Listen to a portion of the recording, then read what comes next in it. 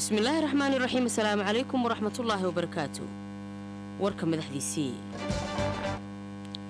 wasaaradda tamarta iyo macdinta somalilan ayaa shirkadaha bixiya adeega korontada ee magaalooyinka buuramo ceeri gaabo iyo laascanood ku amartay inay bulshada ka jibiyaan qiimaha adeegyada korontada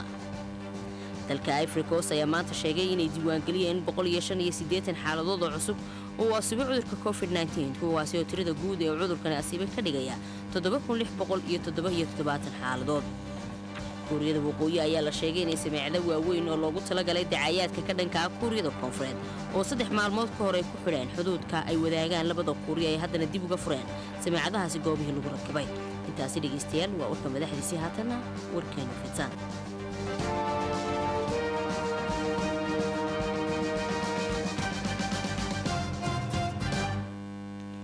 wasaaradda tamarta iyo macdanta somalilan ayaa shirkadaha bixiya adeega korontada ee magaalooyinka buurama ceeri gaabo iyo laascanood ku amartay inay bulshada ay ka jebiyaan qiimaha adeegyada korontada. War-saxaafadeed ka soo baxay wasaaradda macdanta iyo tamarta somalilan oo ku saxiixnaa wasiirka wasaaraddaasi jaamac xaaji maxamuud cigaal soona gaadhay wakaaladda wararka somalilan ee soolna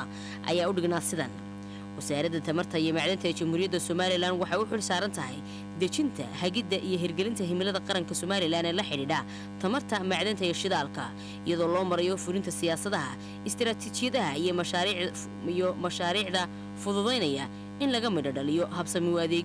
adeegsiga khayraadkaasi iyadoo loola kaashanaya qaybaha kala duwan ee xukuumadda ganacsatada bulshaweynta iyo daneeyayaasha kale dhammaantood. Sidoo kalena wasaaraddu waxay dadaal xooganay ugu jirtaa ka midho dhalinta himilada qaranka ee korontada la xidhiidha oo ah in la helo koronto jaban beedqabka la awoodi karo oo laysku hadlayn karo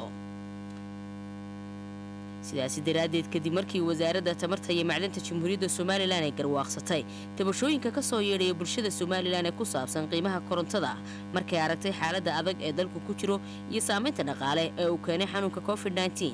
ee uu ku yeeshay dhammaanba qaybaha kala duwan ee bulshada somalilan iyo qiimaha shidaalka ee dunida oo gaadhay halkii ugu hoosaysay iyo weliba kadib markii shirkadaha qaar ay u hogaansamaya wasaaraddu ay jebiyeen qiimaha korontada. Waxay wasaaradda tamarta iyo macdanta jamhuuriyadda somalilan wareegto u dirtay dhammaanba shirkadaha kalaa sebco ceeri gaabo aloog boorama telesom boorama iyo sool bawer laascanood oo lagu faray inay qiimaha ka jebiyaan macaamiisha iyo muwaadiniinta deegaanadaasi. War-saxaafadeedkani waxa uu daaran bulshada la dareensiiyo in wasaaradda macdanta iyo tamarta ee jamhuuriyadda somalilan oo gudanaysa waajibaadkeeda ay ka go'an tahay ka filcelinta tabajooyinka bulshada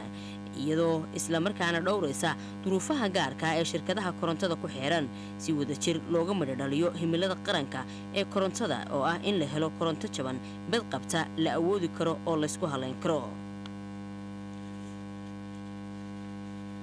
dalka ifricos ayaa maanta sheegay inay diiwaangeliyeen xaaladood oo cusub oo asiibay cudurka covid kuwaasi oo tirada guud ee cudurkaasi asiibo ka dhigaya xaaladood. Wakaalada wararka ee s b a oo soo xiganaysa bayaan ay soo saartay wasaaradda caafimaadka ee dalkaasi ayaa sheegtay in wasaaraddu ay bayaankeeda ku sheegtay in qof ay ka bogsadeen cudurkaasi halka tirada u dhimatay tan iyo markii dalkaasi lagu arkay cudurkaasi ay dhan yihiin dadku inta dhimatay lix iyo konton qof. Warbixinuu soo saaray barnaamijka qaramada midoobay ee la dagaalanka cudurka aidiska oo uu ka digay suurtagalnimada cudurkan dunida ka yaabiyey uu ku yeelan karo wax soo saarka iyo keenista daawooyinka cudurka aidiska waxaa kaloo barnaamijkaasi la dagaalanka aidiska ee qaramada midoobey warbixintiisa ku sheegay in karantiinka dalka lagu soo rogay in cudurka koronavirus looga hortago ay keeni karto oo kale kororka qiimaha wax soo saarka dawada iyo qaybinteedaba taasi oo iyadana horseedi karta kororka iyo korukaca qiimaha iyo saadka iyadoo ay cagabaabsi noqon karaan kaydka labada bilood ee soo socda. Kuuriyada waqooyi ayaa la sheegay inay sameecado waaweyn oo loogu talagalay dacayaadka ka dhankaa kuuriyada koonfureed oo saddex maalmood ka hor ay ku xidheen xuduudka ay wadaagaan labada kuuriya ay haddana dib uga fureen sameecadahaasi goobihii lagu rakibay. Ila wareedyo dhinaca xukuumadda kuuriyada koonfureed ah ayaa sheegaya in kuuriyada waqooyi ilaa iyo toban cod baahiye oo ay hore ugu soo xidhay xuduudka ay wadaagaan ay ka fureen goobihii ay ku xidhnaayeen. Kuwaasi oo ku beegnaa amaba ku jihaysnaa dhinaca gobolka bari ee xuduudka kuuriyada koonfureed milatariga kuuriyada koonfureed ayaa iyana geestooda waxay sheegeen in kuuriyada waqooyi ay codbaahiyaashaasi ay xuduudka ku xidhay.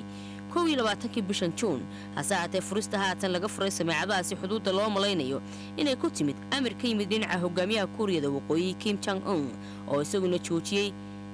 tallaabo milatari oo uu hore ugu hanjabay inuu ka qaadi doono kuuriyada koonfureed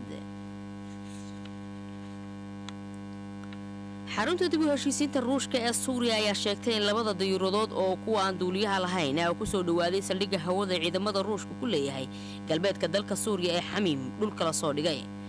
Madaxa xarunta kooxda badda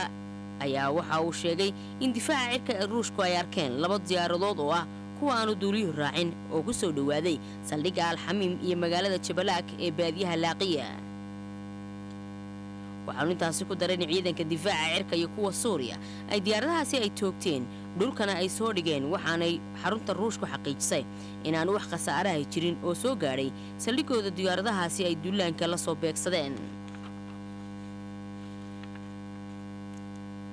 in ka badan kun mudane baarlamaan oo ka kala socda daafaha yurub ayaa saxeexay waraaqo ay si weyn ay uga soo horjeedaan qorshayaasha israa'iil ay ku doonayso inay kula wareegto qaybo ka mid a dhulka daanta galbeed ee falastiiniinta ay haysato. Aanidhaada dhegaystayaal dhulka daanta galbeed ee falastiiniyiinta ka haysato.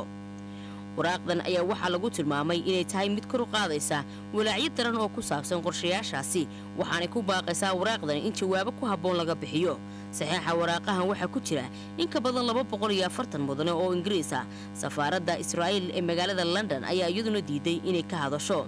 Daabacadda warqadda wargeysyo dhowra ayaa toddobaad ka hor faafin doona intaan la bilaabin hawsha dabagalka iyadoo sida ku xusan heshiiska awood qaybsiga ee horsoday dhismaha dowladda hadda ee israa'iil ay bishii la soo dhaafay. Waxaana suurtagal ah in dib u soo celinta dhulalka daanta galbeed loo gelin karaa codbixin ilaa iyo kowda bisha julaay. Waraaqdan ayaa waxaa si adag ay uga soo horjeedaa qorshaha ra'iisul wasaaraha israa'iil benyamin netanyahu uu ku doonayo inuu boqolkiiba soddon dhulka daanta galbeed ee israa'iil ay qaadato dhulkaasi oo ah kan ay falastiiniyiintu ay doonayaan inuu ka mid noqdo dhulka dowlad falastiina oo madax bannaan